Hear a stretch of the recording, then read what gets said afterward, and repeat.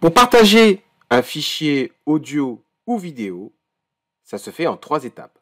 Première étape, vous devez préparer votre fichier ou votre vidéo. Dans notre cas, nous allons nous mettre sur YouTube.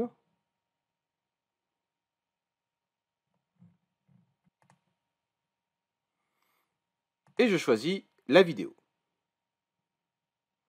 Je la mets en pause. Tout est prêt. Deuxième étape, c'est d'aller dans Partager et de choisir cette option Inclure le son de l'ordinateur. Alors, faites attention en fonction de votre euh, configuration matérielle, vous pouvez ici avoir ce message.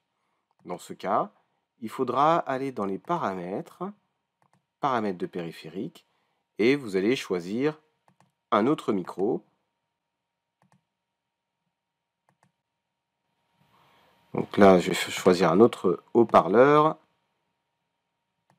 Et cette fois-ci, j'ai l'option. Je me mets sur la fenêtre qui m'intéresse.